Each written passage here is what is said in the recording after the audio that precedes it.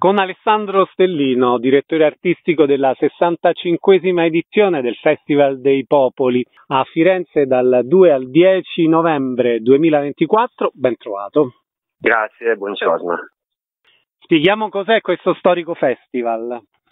È il festival più antico in Europa, forse del mondo, dicono alcuni, di cinema documentario. 65 anni sono tanti e abbiamo intenzione di festeggiarli adeguatamente. Abbiamo fatto la storia del cinema documentario e vogliamo continuare a farla con gli autori e le autrici più importanti del panorama contemporaneo.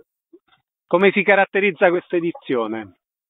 È un'edizione importante sia per la ricorrenza, ma anche per eh, una cosa che vale la pena sottolineare, credo. Più della metà dei film in programma, che sono quasi 90, sono diretti da donne. Questo è un dato importante, non è una quota che abbiamo perseguito a tutti i costi, ma ci abbiamo fatto attenzione e alla fine è così. Ci sono registe molto importanti al festival, c'è un filone che attraversa tutta la programmazione dedicata a un uh, collettivo di cineasti indipendenti che saranno nostri ospiti e insieme a loro attraverseremo un po' la storia del cinema documentario al femminile. Abbiamo poi un film d'apertura importante a cui teniamo particolarmente, alla compagnia il 2 novembre ci sarà Fiore mio di Paolo Cognetti, è una grandissima anteprima nazionale, ospite lo scrittore per la prima volta dietro la macchina da presa e anche Vasco Brondi, un musicista importante e noto che ha curato le musiche del film. Le opere in programma saranno accompagnate da autori e autrici?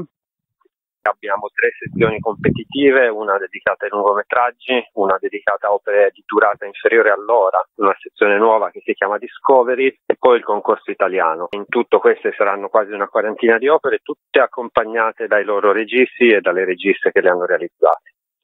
Ci sono tematiche più ricorrenti?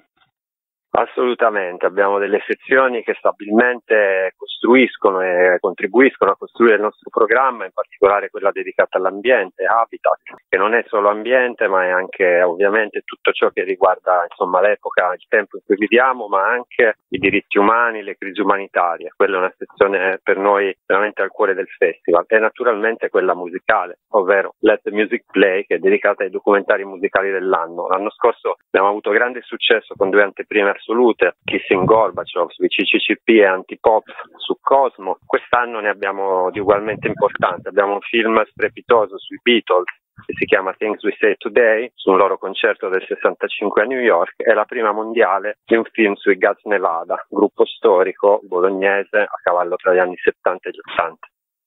Come si articolerà rispetto ai luoghi e agli orari?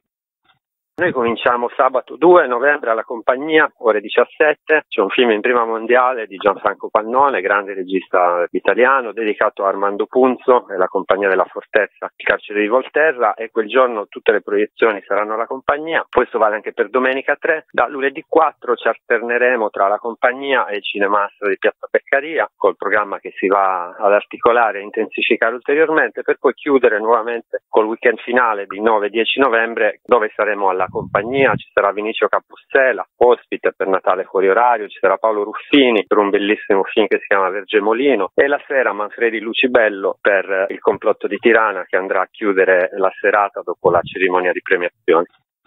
Com'è stata l'attività di selezione? Molto lunga.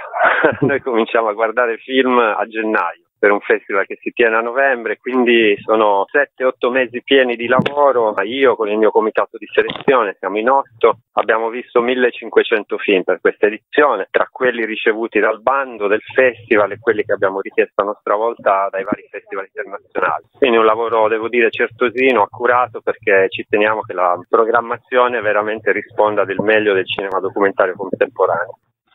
I riferimenti web per il programma si trova tutto all'indirizzo festivaldeipopoli.org, il programma, le singole schede dei film, le novità, anche perché c'è una novità molto importante, possiamo finalmente rivelare il fatto che Ken Loach è il nuovo presidente onorario del Festival dei Popoli, perché lui 40 anni fa fu ospite al festival, lo vinse con un film che si chiama Which Side Are You On, dedicato alle lotte dei minatori in Gran Bretagna nell'84 e per l'occasione insomma volevamo celebrare lui, celebrare il festival che compie 65 anni, gli abbiamo fatto questa proposta proposta di ricoprire la carica di presidente onorario e ha accettato con grande felicità.